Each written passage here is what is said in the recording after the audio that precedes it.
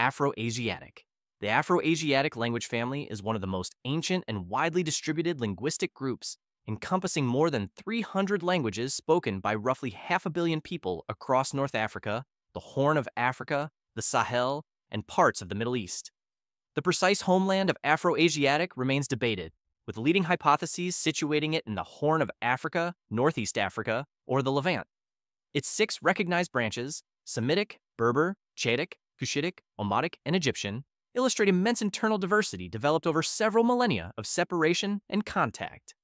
The Afroasiatic family has played a central role in shaping early human civilizations, providing the linguistic foundation for cultures such as ancient Egypt, Carthage, Axum, and Mesopotamia.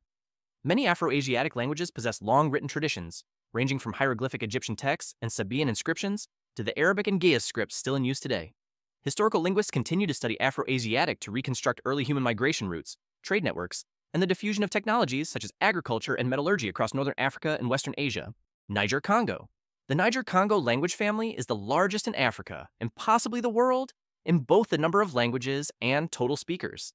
It comprises over 1,500 languages spoken by more than 700 million people across West, Central, and Southern Africa, extending from Senegal and Nigeria to Mozambique and South Africa. Linguistic and archaeological evidence suggests an early homeland near the Niger or Benue River basin, from which ancestral languages diversified over thousands of years. The family is internally complex, consisting of major subgroups such as Atlantic Congo, Mande, Gur, Kru, Kwa, and Kordofanian. The Bantu branch, a significant offshoot, spread widely across Central and Southern Africa, but is only one component of this vast family. Niger-Congo languages exhibit remarkable lexical and tonal diversity, reflecting adaptation to varied environments and long histories of regional contact. Many have developed into regional lingua francas, including Swahili, Yoruba, Igbo, Wolof, and Fula, serving as key instruments of interethnic communication. Scholars view Niger Congo as central to understanding Africa's prehistoric migrations, agricultural transitions, and cultural networks that linked communities across the continent long before recorded history. Bantu, the Bantu languages form one of the most extensive and influential branches of the Niger-Congo language family, encompassing over 500 related languages spoken by an estimated 300 to 400 million people across Central, Eastern, and Southern Africa. The Bantu expansion, which began around 3,000 to 4,000 years ago near the Nigeria-Cameroon borderlands, represents one of the most significant population movements in pre-modern human history. Through gradual migration and interaction, Bantu speaking communities spread agricultural practices, ironworking, and social organization across much of sub Saharan Africa. Major Bantu languages include Swahili, Zulu, Shona, Kikuyu, Luganda, and Kinyarwanda, many of which serve as regional or national lingua francas. Despite extensive internal diversity, Bantu languages share notable similarities in noun class systems, verb structure, and sound patterns, reflecting their common ancestry. The historical spread of Bantu languages profoundly shaped Africa's demographic and cultural map, blending with indigenous hunter-gatherer and pastoralist populations.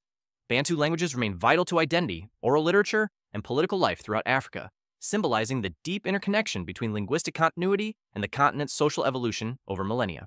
Nilo-Saharan. The Nilo-Saharan language family is one of Africa's most debated linguistic groupings. Proposed in the mid-20th century by Joseph Greenberg, it encompasses more than 200 languages spoken across a vast region of Central and Eastern Africa, stretching from Chad and Sudan to Uganda, Kenya, and northern Tanzania. Many scholars argue that Nilo-Saharan may represent several distinct lineages that share features through contact rather than descent. Despite this uncertainty, Nilo-Saharan languages form an important cultural and historical bridge between the Sahel and the Upper Nile regions. Notable members include Kanuri, Dinka, Nuer, Luo, Maasai, and Songhay, spoken by diverse pastoralist, fishing, and farming communities. These languages have played key roles in the development of Nilotic and Central Sudanic civilizations and in the spread of pastoral and riverine economies. Ongoing comparative work seeks to identify consistent grammatical and lexical correspondences that could confirm or refute their unity. Regardless of its internal classification, the Nilo-Saharan hypothesis remains central to understanding Africa's linguistic evolution and prehistoric patterns of migration across the continent's interior. Khoisan, the Khoisan languages represent one of Africa's most distinctive and historically intriguing linguistic groupings, though their classification as a single family is highly contested. Traditionally used to describe several languages of southern Africa characterized by click consonants, the term Khoisan now functions more as a convenient typological label than as evidence of common ancestry.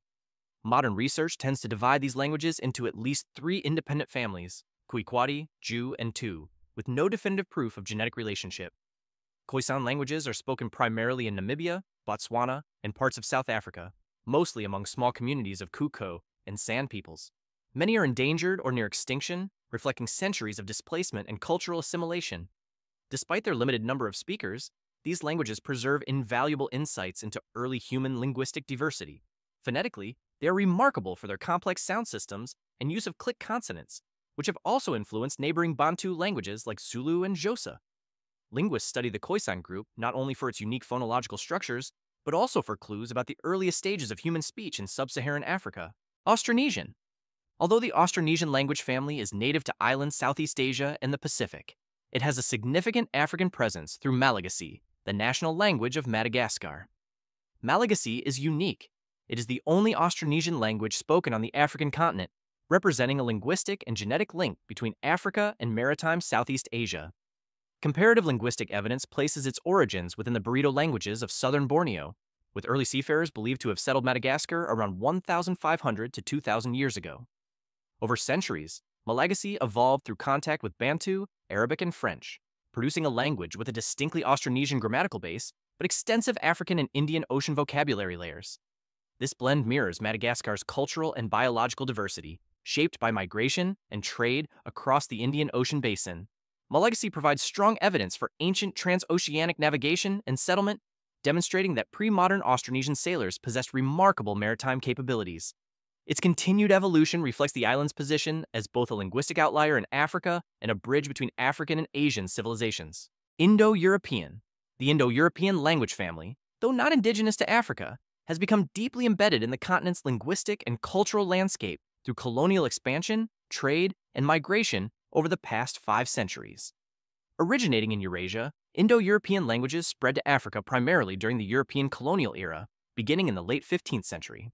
Today, they serve as official, educational, and administrative languages in many African nations, often coexisting with native tongues in multilingual societies. Major Indo-European languages in Africa include English, French, Portuguese, Spanish, and Afrikaans, each linked to specific colonial histories. English in Nigeria, Kenya, and South Africa, French across much of West and Central Africa, Portuguese in Angola and Mozambique, and Afrikaans in Southern Africa as a locally developed derivative of Dutch. These languages function as lingua francas, enabling cross-ethnic communication and access to global institutions, but they also reflect enduring legacies of colonial hierarchy and cultural exchange. Despite their external origins, Indo-European languages have been localized through African speech patterns, vocabulary, and identity, illustrating the continent's capacity to redefine external linguistic influences within indigenous contexts.